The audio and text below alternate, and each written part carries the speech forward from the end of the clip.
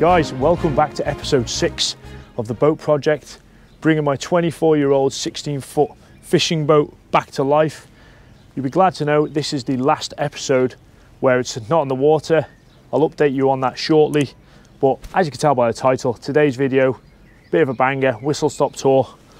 So we got a Lowrance hook reveal 9 triple shot fish finder to install.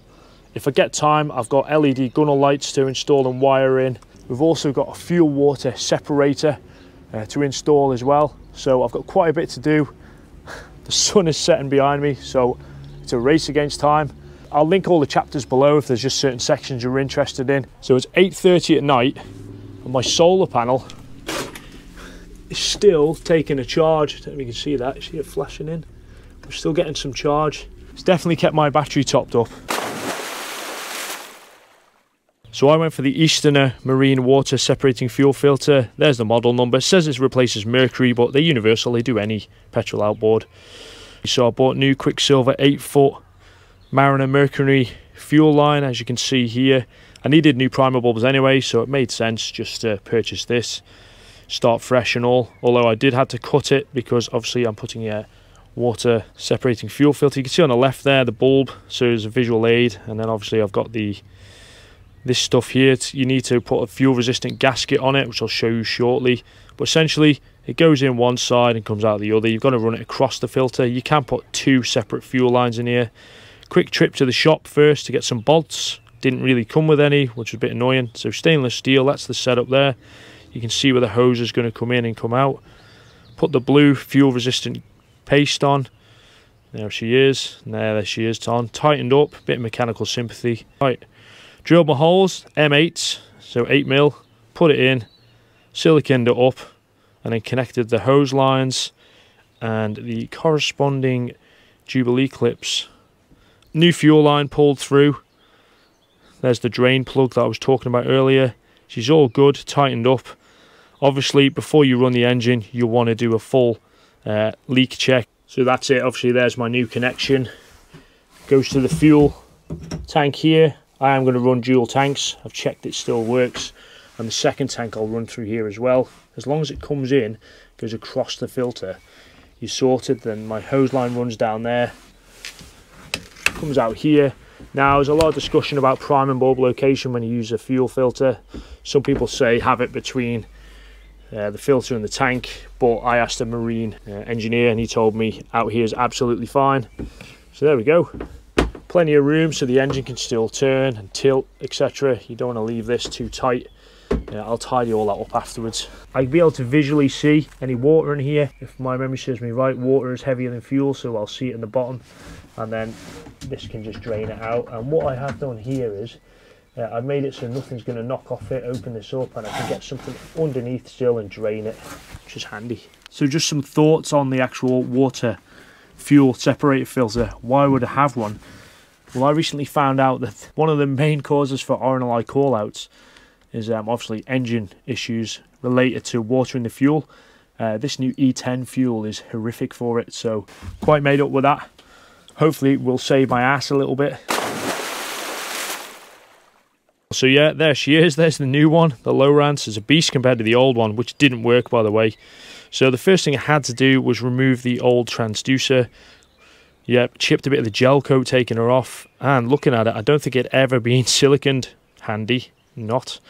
So there's a way you work out how these fit. Basically use a straight edge, but I worked that out and it fitted the existing holes.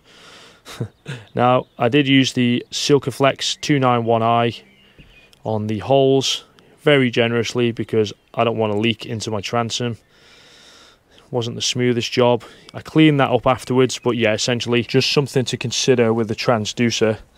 Um, there is a housed position that it sits in, but the cable will obviously pull, so make sure you leave enough slack. I've got to put the P-clips on here, which I'll do shortly.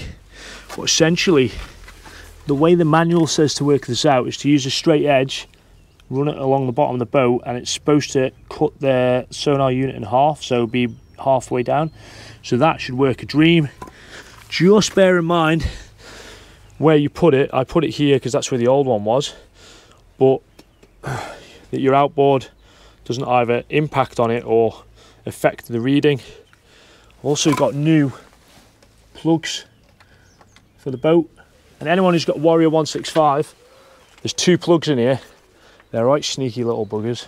Right, first thing we do with the fish finder unit is take it off and then unscrew these three screws and then I'll put the new one on which is not much of a job really. There you go.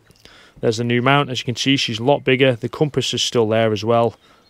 And then that's the wire it came with. It's 12 volt accessory connection. So I just use some heat shrinked marine grade connections.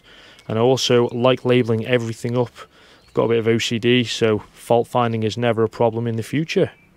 If you haven't already seen it, I rewired the boat and explain exactly how my connections work with the uh, panel here and the fuse switch here. So I'll just connect these. So here's the panel. That's the GPS switch there which corresponds to the power which I've just put in the middle switch here. Again go back to refer to that video. You'll know what I'm talking about. And then all I need to do is run the negative up into the uh, switch because it's already fused through the panel. We'll do that now so there's a negative going on so we've got the head unit in place now Looking beautiful. Okay, there's my power cable which runs through the dash. As discussed, let's connect that up. it's got a little notch, notch on it, so you can't really put it in wrong. Ignore these two wires. So we've got the cable from the transducer, the sonar unit, and there's the power cable. Let's see if she fires up, shall we? So there we go, look at that. Excellent for knowing where the depth is. Obviously we've got sonar, um, down scan so we can see these are supposed to be fish. There's some weird hook reveal thing. Um, mate. Steady. And then a side scan which this is going to be epic for looking at the bottom of the floor uh, of the ocean floor for like shipwrecks etc you can see like shipping containers here this is obviously in a, a demo mode because we're not on the water but there you go mega excited about that because I've literally just been free diving and uh, saw jellyfish and unreal. So yeah, I'm buzzing with that. Right, on to the next job then. Quite a comparison. Next mission is LED strip lights. Went for red, green, blue because red at night does not affect night vision. So in the pack, they come with these two five meter reels. The IP something rated. These are pretty cheap, so if they go wrong, I'll just replace them. Adhesive on the back for going around the gunnels um, and then a central controller uh, where both five meters connect into. So there's no soldering nothing nothing snazzy required. Uh, this would normally go into a 240 socket. I just snipped the socket off and then as you can see we've got two wires there. One's a positive one's a negative. Some janky remote control and uh, yeah obviously there's the IR receiver there Aha. So yeah, before I did anything, I wanted to just check uh, they worked and the wiring worked. So that was skeet. All right, mate. Do you do other colours? Green, red, blue, white. Gucci. I'm going to put the control unit around here somewhere because I've said before it's a bit more protected from the elements. And although they say they're waterproof, do I trust them? Negative. So I've glued them on it's not dark yet, but there's a nice light from it. I ran them around the front here. I did think about running them up here, but the way I've left them, uh, the connector here is that I can extend and run some more along here. Like I say, they're only cheap, so not breaking the bank with anything. It's been quite a productive night, hasn't it?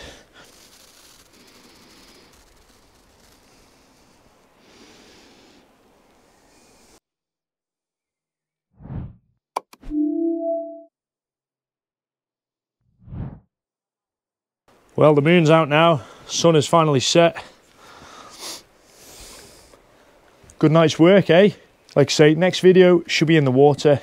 I've still got plenty of little tweaks I want to do to it. I've got this underwater um, propulsion sea scooter, I think it's called, by Yamaha.